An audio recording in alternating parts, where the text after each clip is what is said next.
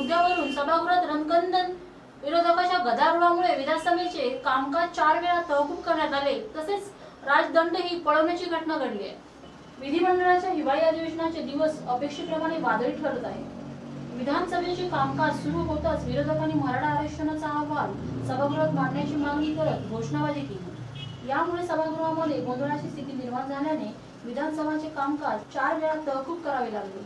यावेळी मागासवर्गीय आयोगाचा अहवाल सभागृहात मांडा व शेतकऱ्यांच्या कर्जमाफीबाबत आग्रह धरत आक्रमक भूमिका विरोधकांनी घेतली. आज जे घटनेने जे बावन्न टक्के आरक्षण दिलेलं आहे अन्य समाजाला त्याला कुठेही धक्का न लावता ओव्हर अँड अबव बावन्न टक्क्याच्या वर हे आरक्षण सरकारनं दिलं पाहिजे ही आमची मागणी आहे. हेक्टरी पन्नास हजार रुपये जाहीर करा. एक लाख रुपये बागायतदार फळ फळ उत्पादक ऊस उत्पादक आणि केळी उत्पादक शेतकऱ्याला एक लाख रुपये हेक्टरी जाहीर सगळा वीज बिल जाईल माफ करा. शैक्षणिक शुल्क वर्षभरात.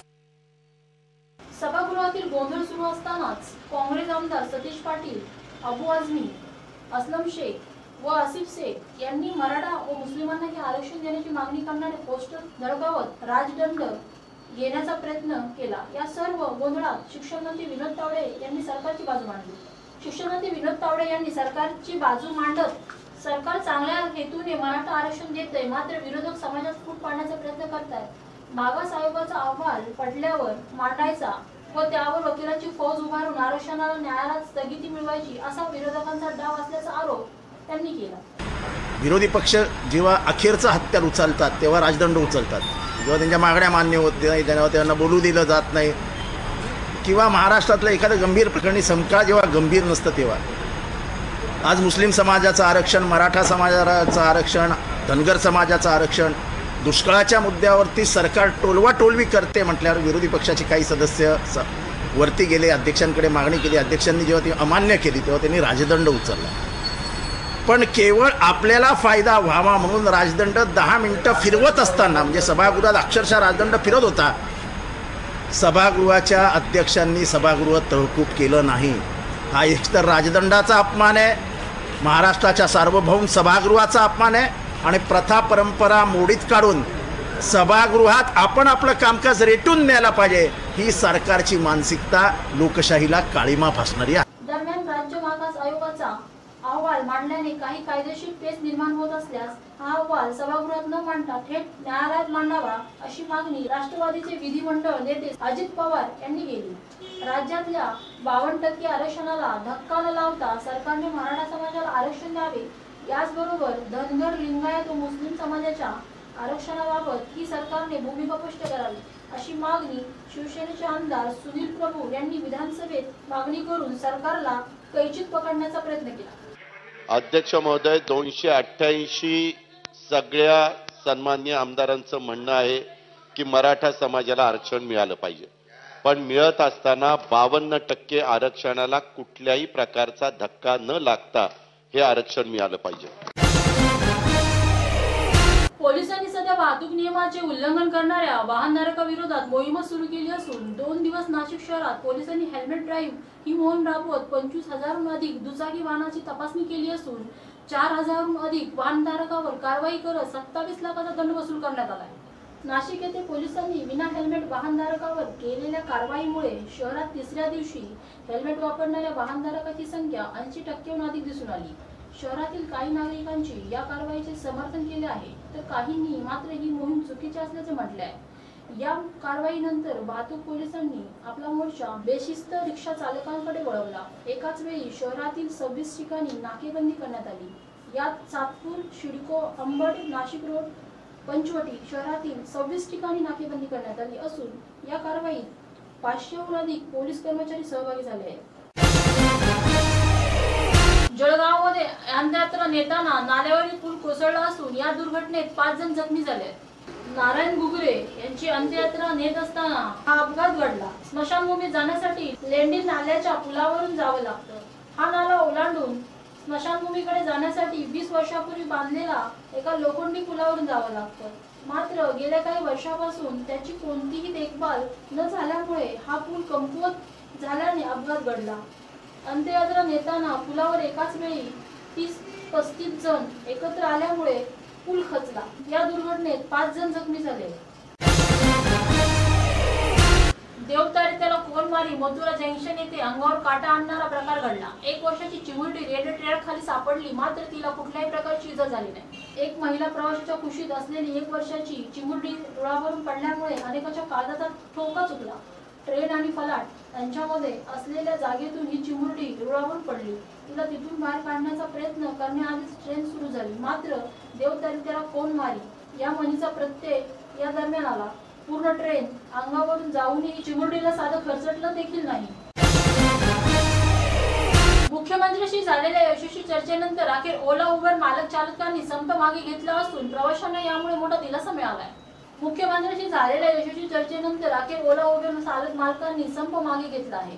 प्रवाशांना यामुळे मोठा दिलासा मिळाला असून युनियन नेते सचिन अहिर यांच्या नेतृत्वाखाली शिष्टमंडळाने विधानभवनावर मुख्यमंत्री देवेंद्र फडणवीस यांची भेट घेतली व चालकांच्या मागण्या मांडल्या. यानंतर हा संप मागे घेण्याचे संघटनेने जाहीर केले. तुझं माझं जमेना आणि तुझ्याशिवाय करवेना अशी काहीशी अवस्था शिवसेना आणि भाजपाची असल्याचं म्हणावं लागेल.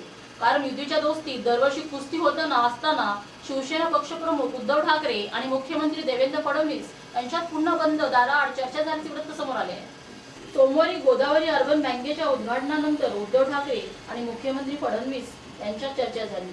शिवसेनेचे आमदार हेमंत पाटील यांच्या गोदावरी अर्बन बँकेच्या नरिमोन पॉइंट येथील शाखेचे उद्घाटन झाले.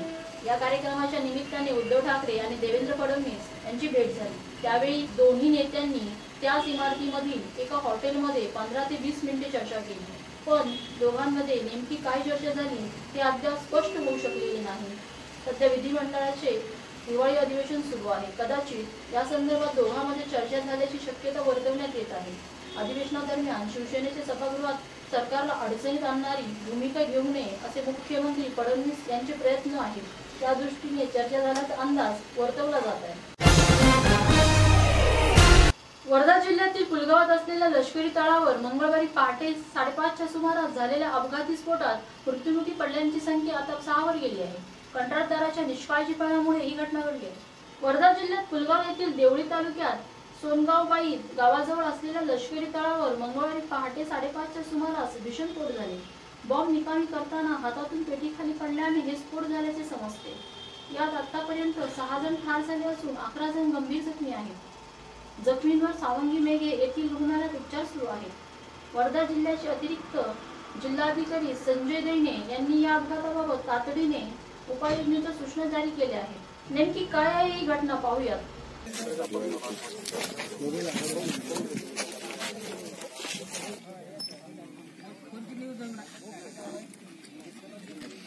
वर्धा जिल्ह्यात पुलगाव येथील देवळी तालुक्यात सोनगावबाई गावाजवळ असलेल्या लष्करी तळावर मंगळवारी पहाटे साडेपाचच्या सुमारास भीषण स्फोट झाली.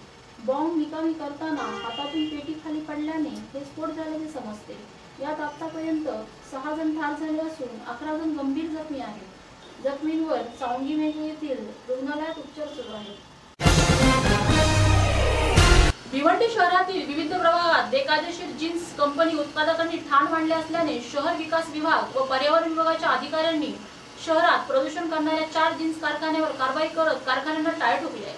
ठाणे शहरातील अनेक ठिकाणी महापालिकेची परवानगी न घेता बेकायदेशीर जीन्स वॉश कंपनीचे कारखाने सुरू आहेत पालिकेच्या पाणीपुरवठा विभागातील काही अधिकाऱ्यांच्या आशीर्वादाने अवैधरित्या पाणीपुरवठा केला जात असल्याने अनेक ठिकाणी केमिकल्स युक्त सांडपाण्यामुळे परिसरात प्रदूषणाचा प्रश्न निर्माण झाला आहे व नागरिकांच्या आरोग्याला धोका निर्माण झाला आहे. याबाबत शासनाकडून महापालिकेच्या विचारणा केल्यानंतर आयुक्त मनोहर गिरे त्यांनी कल्याण प्रदूषण नियंत्रण मंडळाची मदत घेऊन Kohinoor jeans wash Mahesh jeans wash Hariom jeans wash Ayush jeans wash company आदी चार प्रदूषणकारी कंपन्यांवर कारवाई करत या कंपन्यांना टाळे ठोकले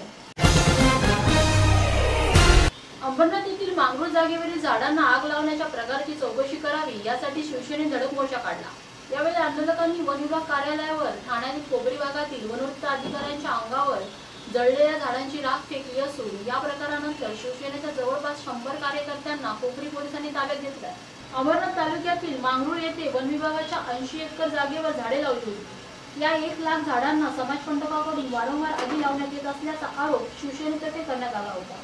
गतवर्षी पाच जुलै दोन हजार सतरा रोजी श्रीमंगलगड परिसरातील मांगरूळ या गावी वन विभागाच्या ऐंशी एकर जागेवर वृक्षारोपण आयोजित करण्यात आले होते. या महाअभियानात तब्बल पंधरा हजाराहून अधिक लोकांनी उत्स्फूर्तपणे सहभाग घेत अवघ्या काही तासातच एक लाख झाडे लावली होती. मात्र मांगरूळ येथील झाडांना समाजकंटकाचा सुरुवातीपासून त्रास सहन करावा लागत आहे.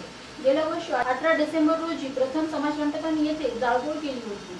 त्यात वीस हजाराहून अधिक झाडांचे नुकसान झाले होते. मात्र हा प्रकार विभागाने गांभीर्याने घेतला नाही. या प्रकारानंतर वन अधिकारी यांच्यावर राग फेकणाऱ्या खासदार श्रीकांत शिंदे व गोपाल लांडगे यांच्यासह शिवसेनेच्या जवळपास शंभर कार्यकर्त्यांना कोपरी पोलिसांनी ताब्यात घेतला फॉरेस्ट ऑफिसला जे चीफ फॉरेस्ट ऑफिसर आहे त्यांच्याकडे जाब मागण्यासाठी आम्ही इथे आलो की हे जे झाडं जाळण्याचा प्रकार जो गेले दोन वर्ष काही समाजकंटकांमधून होत आहे. याच्याकडे फॉरेस्टचं पूर्णपणे दुर्लक्ष आहे. जर पहिल्याच वर्षी जर त्या फ- समाजकंटकांवरती कारवाई केली असती वनवा म्हणून सोडून नसतं दिलं. तर हा जो प्रकार आहे आज जिथे आपण दिल्लीचं उदाहरण आपल्यासमोर आहे की दिल्ली आज तिथे दिल्लीमध्ये लोक राहू शकत नाहीत बाहेर विस्थापित होत आहेत लोक आज तशीच परिस्थिती आपल्यावरती येईल काही वर्षानंतर. ऑक्सिजन जे आहे ते आपल्याला विकत घ्यायला लागेल. जो शेळके आहे तिकडचा आर एफ ओ त्याला तर त्वरित निलंबन करणार आहेत. पण त्याचबरोबर जे उपवनरक्षक आहेत रामगावकर ज्यांच्याकडे ही रिस्पॉन्सिबिलिटी आहे त्यांच्यावर ही कारवाई झाली पाहिजे ही आम्ही त्यांच्याकडे मागणी केली आहे. लेखी आश्वासन आम्ही घेतल्याशिवाय इथून जाणार नाही. प्रांगणात शस्त्र बाळगणाऱ्या व्यक्तीला मुंब्रा पोलिसांनी अटक केली असून तुळशीराम वाडकर असे आरोपीचे नाव आहे.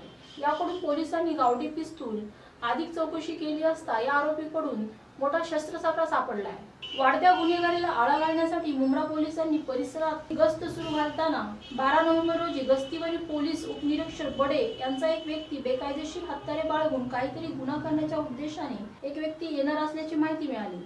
त्यानुसार त्यांनी जयेश वाईन शॉपजवळ दिवापूर परिसरात सापळा रचला. तेवढ्यात संशयास्पद हालचाली करणारी व्यक्ती पोलिसांच्या दृष्टीस पडताच त्याला ताब्यात घेतले.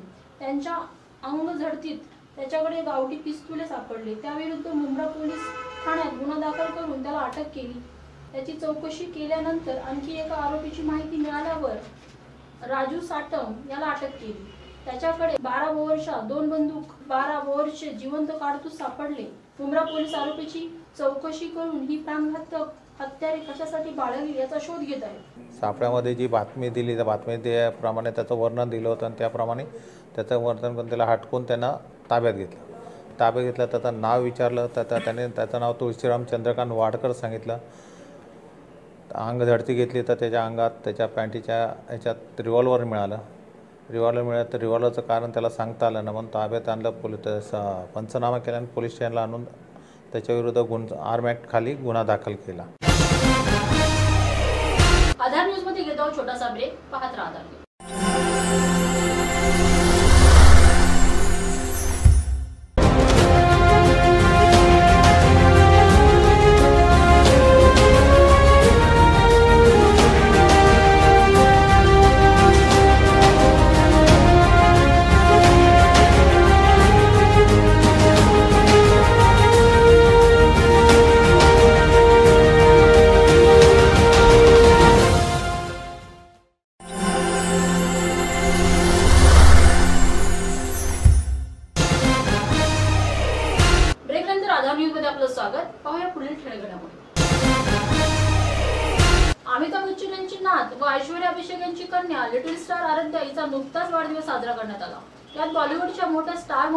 अनेक लिटिल स्टारही हजेरी लावली.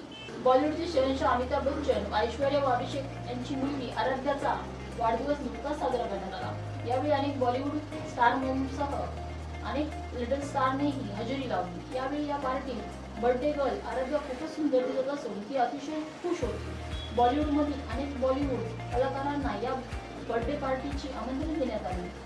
अनेक कलाकार व त्यांचे लिटिल स्टार या बर्थडे पार्टीत वेगवेगळ्या स्टायलिश अंदाजात दिसून आले. एकंदर संपूर्ण बच्चन कुटुंबियांनी या बर्थडे पार्टीत लिटिल स्टार सोबत खूपच एन्जॉय केला. अशा प्रकारे आराध्याच्या बर्थडे पार्टीत सध्याचे बॉलिवूड व भविष्यातील बॉलिवूड अर्थात अनेक लिटिल स्टार निरनिळ्या अंदाजात आराध्याच्या शुभेच्छा देण्यासाठी अवतरले होते. ईशा देओल तिच्या स्टार राध्याला खुशीत घेऊन तिच्या पती भरत तक्खानी या पार्टीत दिसून आली. नीलम कोठारीनेही आपल्या मुलीसोबत या बर्थडे पार्टीत हजेरी लावली. किंग खान अर्थात शाहरुख खानचा मुलगा अब्राम तर या बर्थडे पार्टीत खूपच गोड दिसत होता. श्वेतानंदा व अमिताभ बच्चन देखील आराध्याला शुभेच्छा दिल्या व तिच्याबरोबर आले होते. खूप मौज मजा केली. डब्बू रत्नानी व पती देखील आपल्या मुलीसोबत आराध्याच्या बर्थडे पार्टीत स्टायलिश अंदाजात दिसून आले. अनुदिवान देखील तिच्या स्टार किड सोबत आराध्याला शुभेच्छा देण्यासाठी आली होती.